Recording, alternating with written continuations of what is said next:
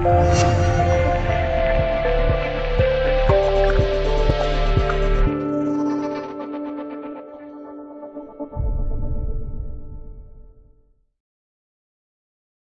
片报盘点了德甲各队替补球员的薪资，格策以八百万欧元高居第一，拜仁边卫拉菲尼亚和狼堡十号尤努斯马尔雷四百五十万欧元并列次席。替补年薪排名第四的是切尔西旧将迪桑托沙尔克零四四百万欧元，第五的则是二十七岁的前德国国脚克拉莫门兴三百五十万欧元。图片报评论：二十六岁的格策。依然没有从球场上的困顿中走出，不过他一点都不差钱，八百万欧元的年薪让其成为德甲最贵的板凳球员。新赛季德甲两轮战罢，格策、克拉莫尚未在联赛中获得出场机会。